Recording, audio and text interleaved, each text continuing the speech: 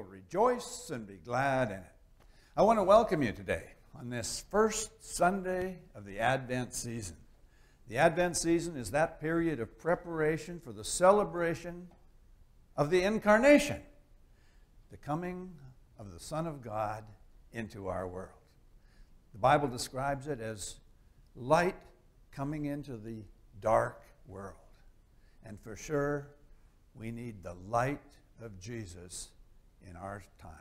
It's good to be together, sort of together, as together as we can be during this time of COVID. And we are asking everybody to do your best to uh, follow the sanitation guidelines that have been laid out. We want this to be a safe space for all who uh, come to worship with us. And so I say, welcome. I want you to relax, enjoy the service. I hope that you will sense the presence of Jesus with us.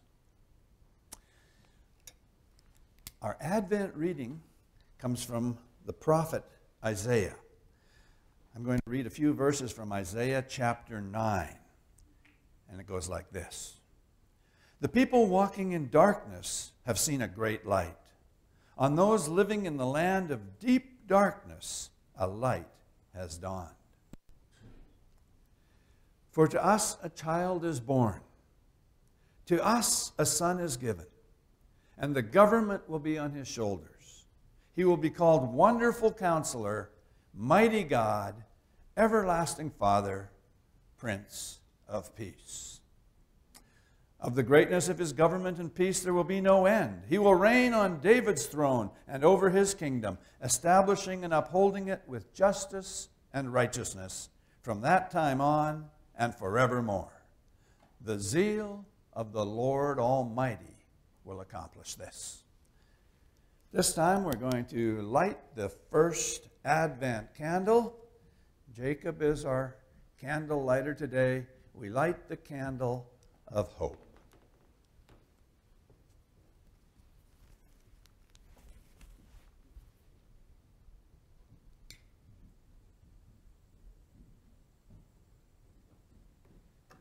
Thank you, Jacob. We pray. Father God, we want to thank you today that many years, in fact, many centuries before Jesus was born, you revealed to the prophet Isaiah that a Messiah would come, one who would bring light into the darkness of this world. And today we affirm that our Messiah is our wonderful counselor, that you are mighty God, everlasting Father, Prince of Peace. Be with us today as we worship together. Help us to connect with you at a very deep level. May not only our minds, but our hearts be impacted by your love so that our hope will be inspired to face the days ahead through Jesus Christ our Lord. Amen. This time we'll call on our worship team to come and lead us.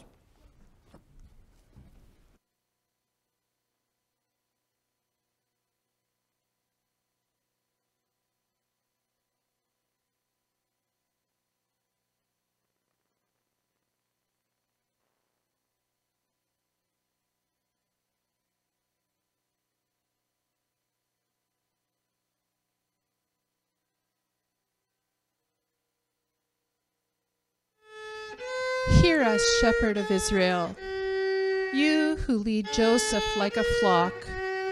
You who sit enthroned between the cherubim, shine forth before Ephraim, Benjamin, and Manasseh. Awake your might, come and save us. Restore us, O God, make your face shine upon us, that we might be saved.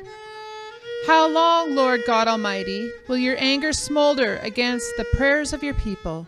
You have fed them with the bread of tears. You have made them drink tears by the bowlful.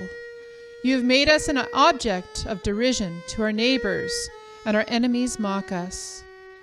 Restore us, God Almighty. Make your face shine on us, that we may be saved.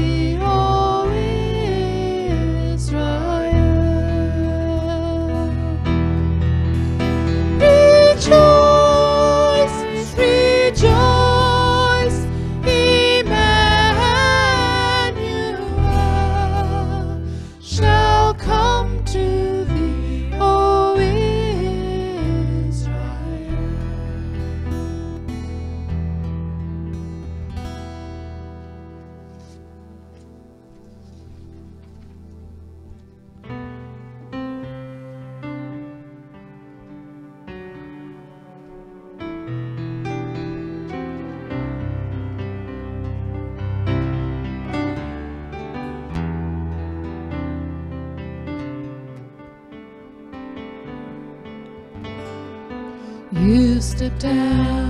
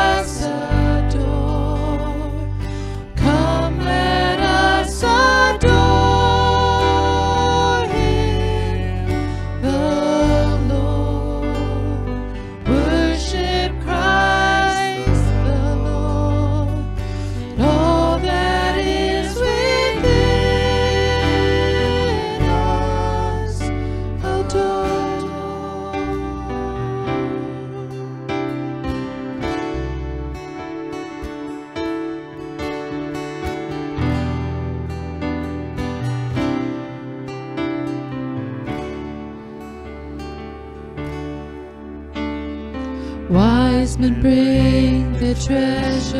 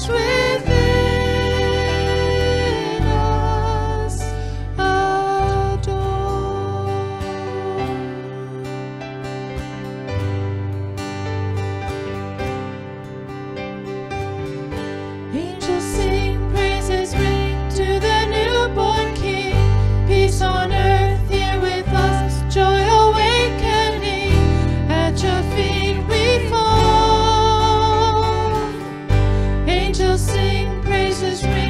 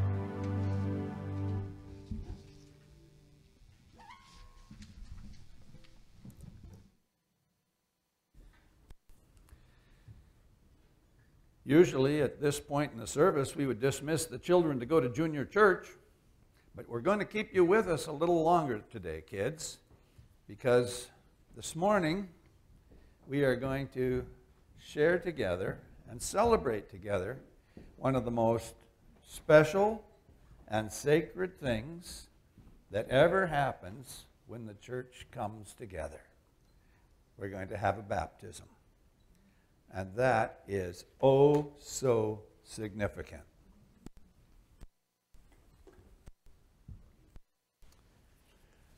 From the very beginning of the Christian church, baptism has been an outward, visible sign of an inward spiritual change.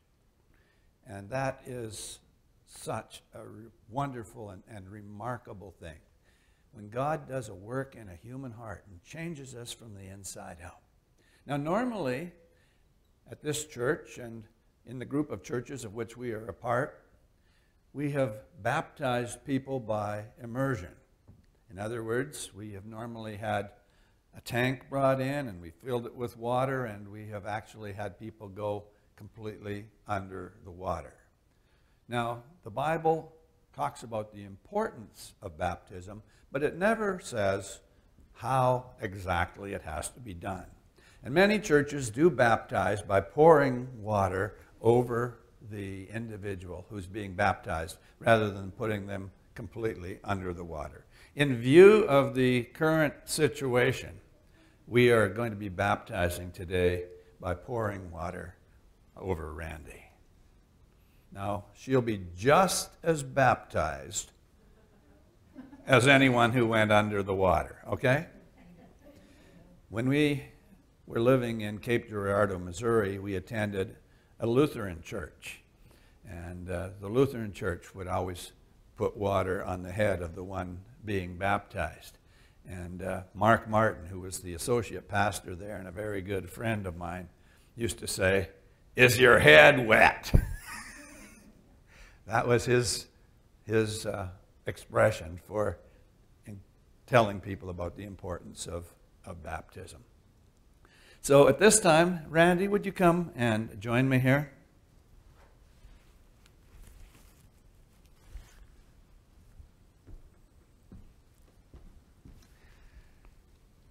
Randy, we rejoice that by God's grace you have uh, come to a point where you have recognized Jesus Christ as your personal Lord and Savior, that you have committed your life to Him.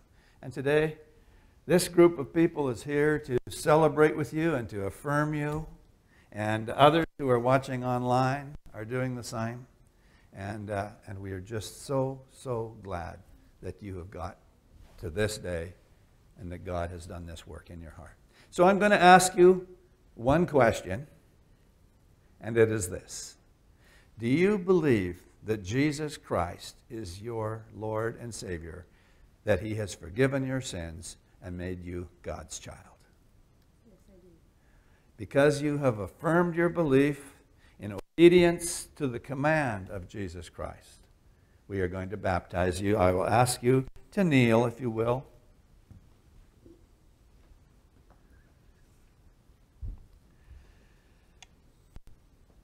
And I baptize you today into the death and the resurrection of Jesus Christ in the name of the Father and of the Son and of the Holy Spirit.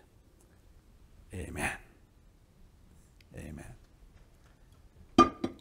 You may rise. Let's affirm, Randy.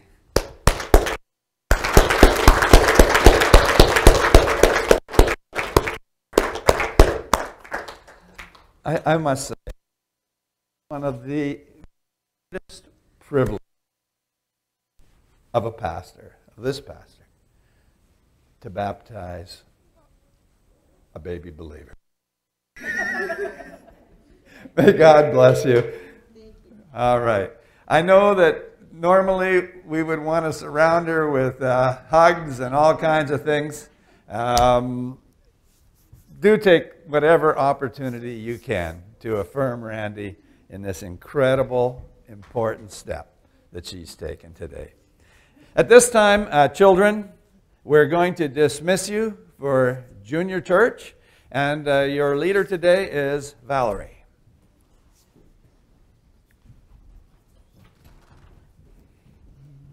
Wow, look at all those beautiful children. God bless you, kids.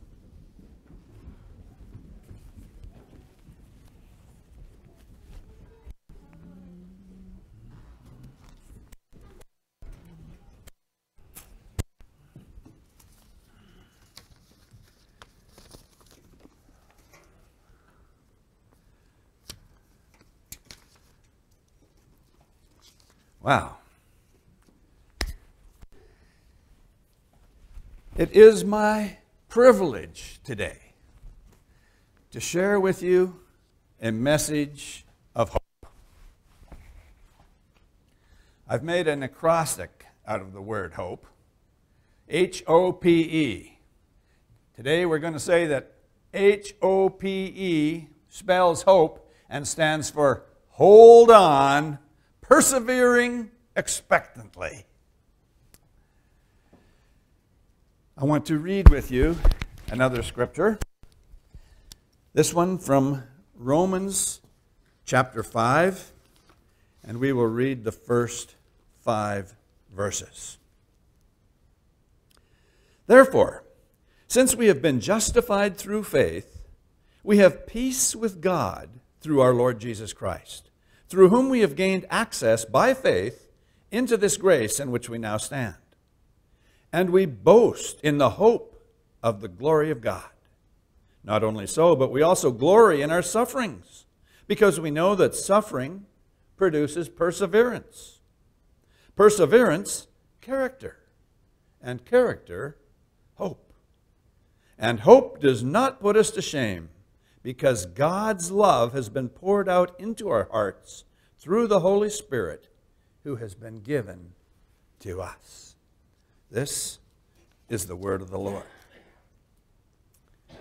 A traveler by the name of Rosita Forbes was in India one day many years ago and was unable to find shelter for the night. Finally, she took shelter in a Chinese temple where she slept on the floor. During the night, she awakened, and when she woke up, she saw that the moonlight was coming in through the window and shining on the faces of the gods that were set there on the shelf. And it struck her that on every face there was a snarl or a sneer, as though they hated people. You know, there are many people in our world who live with the mistaken idea that God hates them, or at least that He's so very angry with them that He could never, ever love them. But nothing could be further from the truth. God is the Father of our Lord Jesus Christ. To know what God is like, you must look at Jesus. Jesus was the most loving person who ever lived. More loving than any other person has ever been or could ever be. Not only does Jesus show us exactly what God is like, it is through him that we enter into an intimate, personal relationship with the God who loves us. A God who loves us so much. More than we can ever possibly understand. More than you can even imagine. The world hopes for the best, but Jesus Christ is the world's best hope. 700 years before the birth of Jesus, the prophet Isaiah delivered a message of hope. And this is what he said He said, The people walking in darkness have seen a great light. On those living in the land of deep darkness, a light has dawned. Now, that's a prophecy of the Messiah who was going to be born. Have you ever gone for a walk in the dark? I mean, when it's really, really, really dark? In the part of the world where we live, it seldom gets completely dark at night. During the summer, we have long days and the twilight lingers into the evening and the sunrise comes early. During the winter, we have much shorter days and longer nights, but because we have a snow cover, it reflects the light of the moon and the stars. I got up during the night last night and looked out of the window, and with the moon so large and the snow down there, I could see things pretty clearly. It wasn't as dark as you might expect at night. We spent some time living in Africa, and for some reason, nights in Africa were so much darker. I mean, it was really, really hard to see. I guess that's why they call Africa the dark continent. but the only place that I have really experienced complete darkness was at the bottom of the mine when I worked there many years ago. When you're three quarters of a mile underground, everything is dark. And unless you have artificial light or light from a human generated source, there's absolutely nothing to be seen. No light. And when there is no light, there's no movement. If you're working alone in a drift and your light goes out, you don't walk because you would walk immediately into danger. The only thing you can do is to stay where you are and wait until somebody with a light comes to find you. Then you follow the light to safety. Jesus said, I am the light of the world. Whoever follows me will never walk in darkness, but will have the light of life. You have heard the adage, where there's life, there's hope. Well, I would suggest that we might also say, where there's light, there's hope. We are walking in darkness as long as we are living in a sinful condition. Because God is holy, sin cannot go unpunished. That's the bad news. The good news is that the punishment for our sin was laid on Jesus. He who never sinned took our place. He was punished for sins that he never committed, for sins that we committed. And I believe that if there was only one person, if you were the only person in the world that needed saving, Jesus would have died for you. You see, the debt that we owed has already been paid in full. We need to understand that we are not forgiven because of good things that we do, but because of what Jesus has already done. The Bible says that our own righteous acts are like filthy rags, permanently stained clothing, if you will, that is good for nothing. What a gift God gives us. His gifts are good gifts. I can still remember, although it's getting to be a long time ago, our wedding day. And uh, the reception that followed the ceremony. At that time, at least in the uh, family circles where we grew up, it was uh, expected that you would open your wedding gifts in public at the reception. And that is what we did. We, uh, we took the gifts and uh, you know, we read the cards and we opened them up and, and we came to one gift. It was, it was a, like, it was a big big box, a, a good sized box, but it was beautifully wrapped. I mean, it was, it was professionally wrapped. It was from my grandparents. My grandma Anderson wanted to be so sure that this package was done up right that she had actually taken it to somebody who wrapped gifts professionally to have them make it look real, real pretty.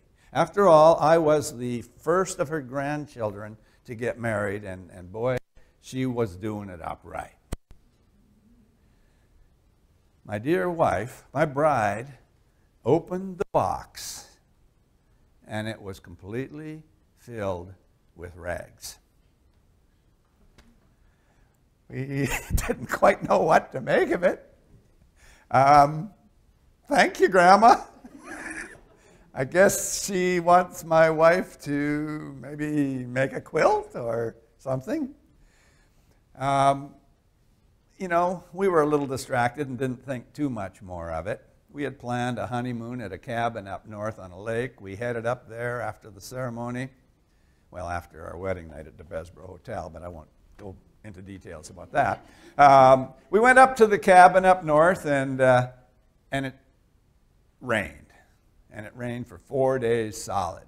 And we said, we're not, we don't want this. So we, we left the cabin that we had booked for two weeks, and we started driving south. We went down through the Cypress Hills Park and then on down into Montana. And eventually we worked our way around and, and came up through Shaunavon, Saskatchewan, where I had uh, an aunt and an uncle living who uh, operated the uh, Case implement dealership at the time. My grandpa and grandma were actually living in uh, an in law suite in their home. So we came and, and thought we'd stop by and, and just say hello on our, on our way back home. So we went to the house and we knocked on the door, and, and my grandma answered. And when she saw us, she said, I'm so embarrassed. I'm mortified. I'm humiliated. And she went through, I can't remember, several long words that she must have worked on for some time. And uh, we didn't know what she was talking about. But what had happened was this she had taken the wrong box to be wrapped. Grandpa and Grandma had, had purchased a beautiful barbecue for us as a wedding gift. But uh, she picked the wrong box to have it wrapped, and we got rags instead. we got the barbecue. um, it, was, it was kind of a lesson, though. It reminded me of the fact that our own righteous acts are like so many rags in God's sight.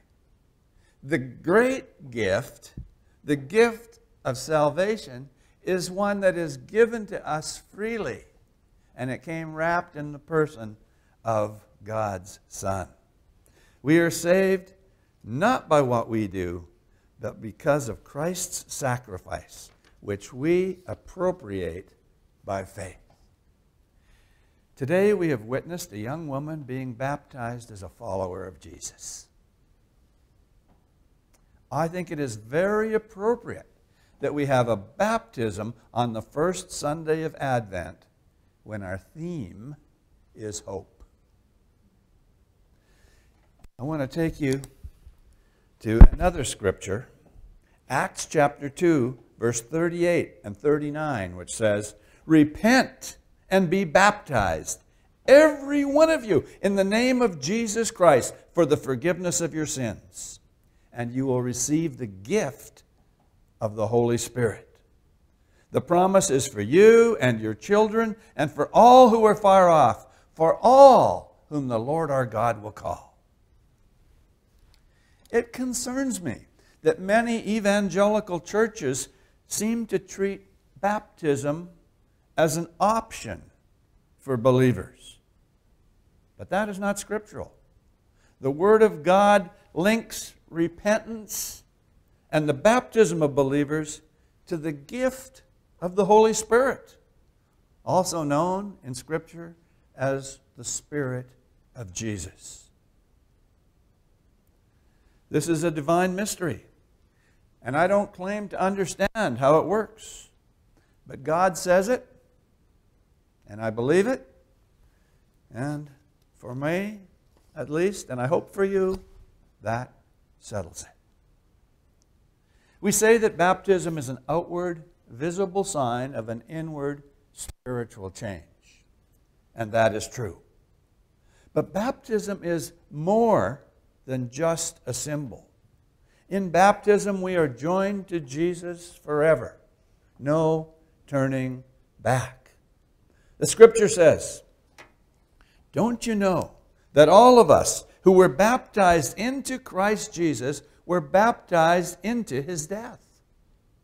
We were therefore buried with him into death, in order that, just as Christ was raised from the dead through the glory of the Father, we too may live a new life. For if we have been united with him in a death like his, we will certainly also be united with him in a resurrection like his. That's Romans chapter 6, verses 3 through 5.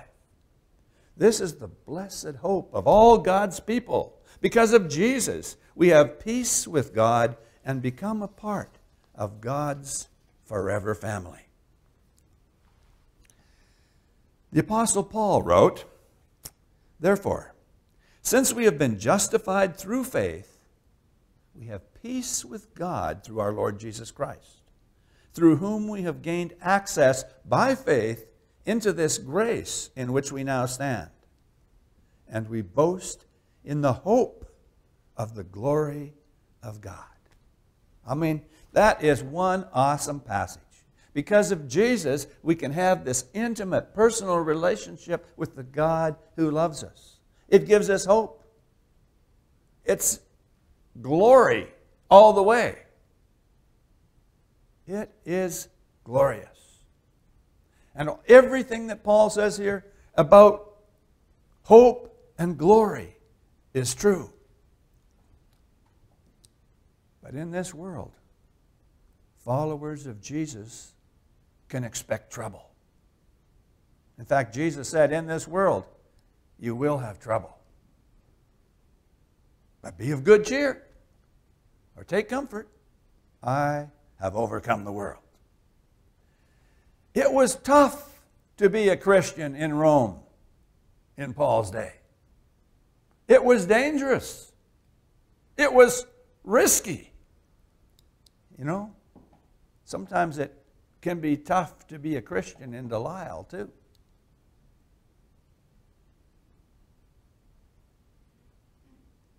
Sometimes it gets real bad. Sometimes troubles seem to pile up and sorrows come to the point that you feel you're going to be overwhelmed. Paul writes that trouble, suffering, produces perseverance. You know, a tree that is grown in a greenhouse never has to put down a strong root system. It's never exposed to the winter storms or the droughts that may come. But a tree that is on the side of a mountain, exposed to the weather, that tree has to put down strong roots that are going to keep it securely in place. Paul says that trouble produces perseverance. Perseverance endures. Perseverance is the quality that keeps us keeping on. You have no doubt heard of the patience of Job, right? People talk about the patience of Job. Actually, a better translation of that word would be the perseverance of Job. Actually, when I read the book of Job in the Bible, Job doesn't seem all that patient to me. But he, in fact, does persevere through the most terrible troubles that you could ever possibly imagine. He had been a wealthy man, and all of his wealth is wiped out in a single day. He had a large family, and all of his children were killed in what appeared to him to be a natural disaster. His health was taken from him. He was covered with boils from the top of his head to the sole of his feet. If you've ever suffered from a boil, you know one boil can be painful. I can't imagine having them all over my body. Even his wife gave up on him. Curse God and die, she said. But he persevered. Although Job didn't understand what was going on and why he was suffering, he persevered in trusting God and he trusted regardless of the circumstance. When you reach the end of your rope, tie a knot and hang on. Suffering produces perseverance, and perseverance produces character. Character is inner strength and purity. Like metal which has been passed through the fire, so that everything impure has been purged out of it. When suffering is met with perseverance, you emerge from the battle stronger, purer, better, and closer to God. Two people can go through the same experience. One says, I could never believe in God after what He let happen to me. The other person says, Wow, I could never have gone through this thing if God had not been with me and His Spirit within me to make it possible. Suffering produces character. Character produces hope. The character which has endured the test always emerges in hope. And hope now is totally different than a wish. People wish for all kinds of things, right? I wish I'd win the lottery, people say. I wish I was better looking. You know, they can, there can be all kinds of things that people wish for, and, and very often wishes end in disappointment. But the kind of hope that comes from God's Spirit does not disappoint us. We never end up embarrassed because we hoped in God. Our hope is rooted in the love of God. I love Romans chapter 5 and verse 5. And hope does not put us to shame, or hope does not disappoint us, because God's love has been poured out into our hearts through the Holy Spirit who has been given to us. No matter what troubles life may bring your way, hold on, persevering expectantly. The hope that we have in God is bigger than the universe stronger than evil, and longer than time.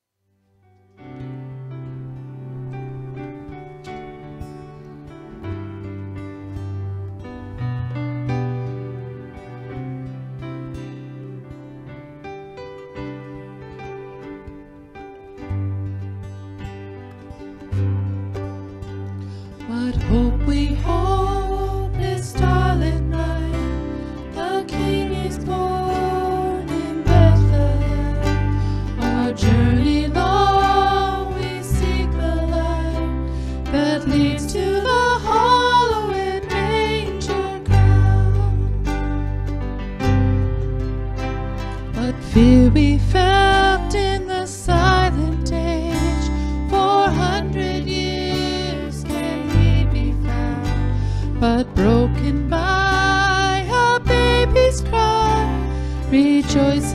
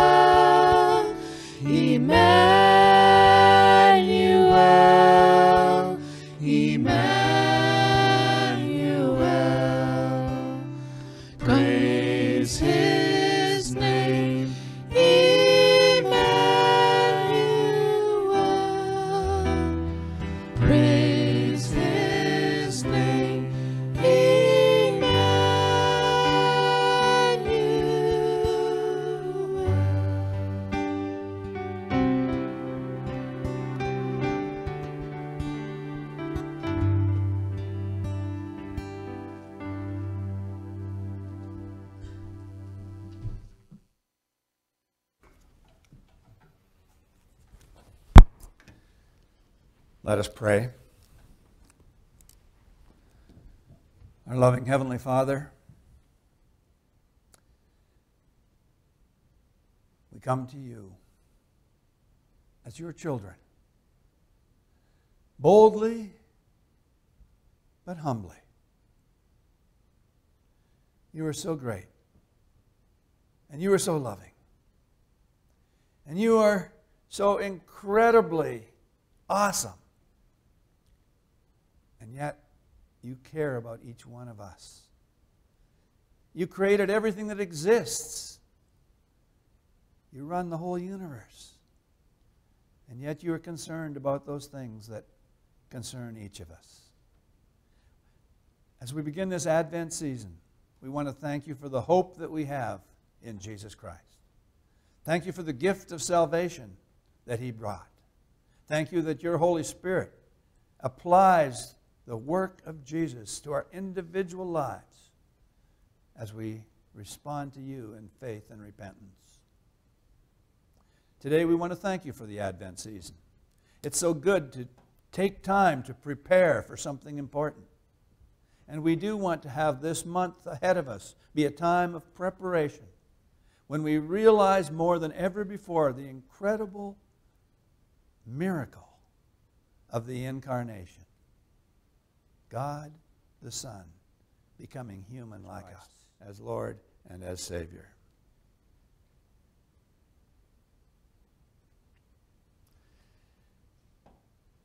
God, you know the unspoken requests in each of our hearts. Those things that we cannot bring ourselves to say. Maybe those things that we feel too deeply for words. Thank you that suffering produces perseverance. And perseverance develops character. And character, people of character, have a hope that is rooted in the unchangeable love of God.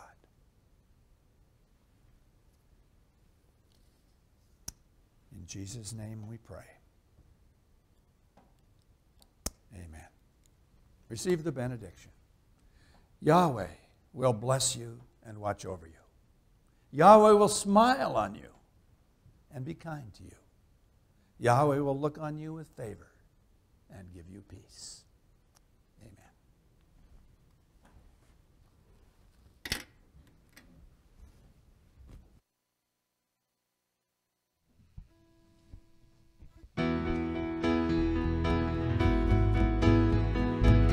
maybe we should stand for this one if we can.